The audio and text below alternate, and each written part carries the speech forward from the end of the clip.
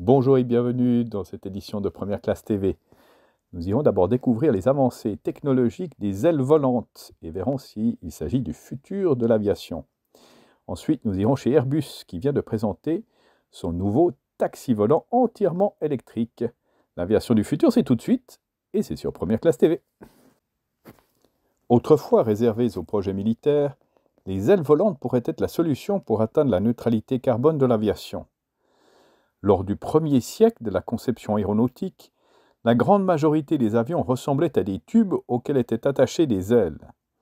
Plus tard, des appareils en forme de boomerang, connus sous le nom d'ailes volantes, tels que le Northrop YB49 ou le Northrop Grumman B2 Spirit, ont captivé l'imagination de l'industrie aéronautique grâce à leur aspect furtif futuriste.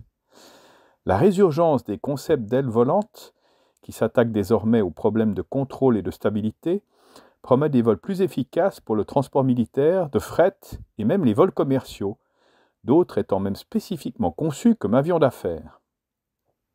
La forme aérodynamique des ailes volantes réduit la traînée, augmentant ainsi le rendement énergétique et diminue les émissions de carbone, ce dernier point étant la principale motivation des constructeurs qui tentent de respecter l'engagement de l'industrie d'être neutre en carbone d'ici à 2050.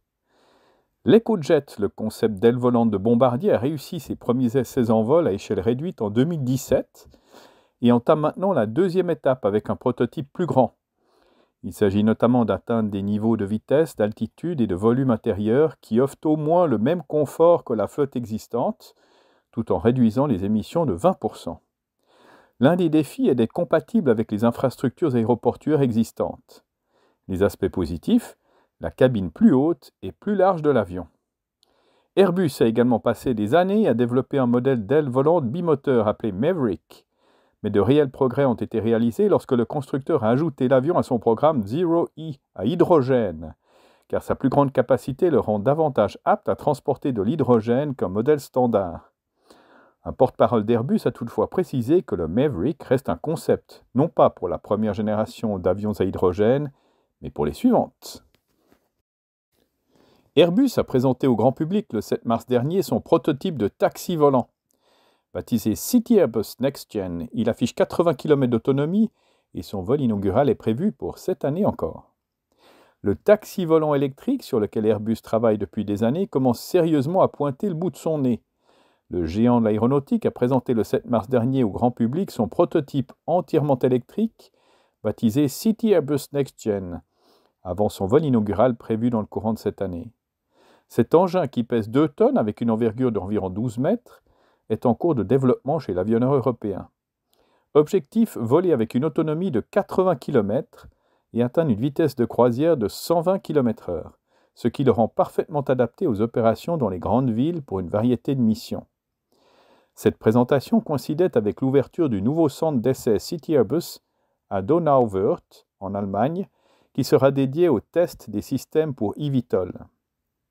Ce nouveau centre, qui témoigne de l'investissement au long cours d'Airbus dans la mobilité aérienne avancée, a commencé ses opérations avec la mise sous tension du City Airbus NextGen en décembre 2023 et sera désormais utilisé pour les tests avant la mise en service du prototype, dont le vol inaugural est prévu dans le courant de cette année.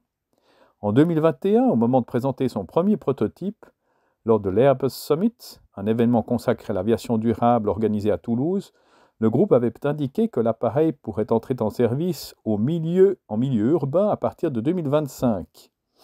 Il s'agit d'un nouveau moyen de transport dans la troisième dimension avec zéro émission.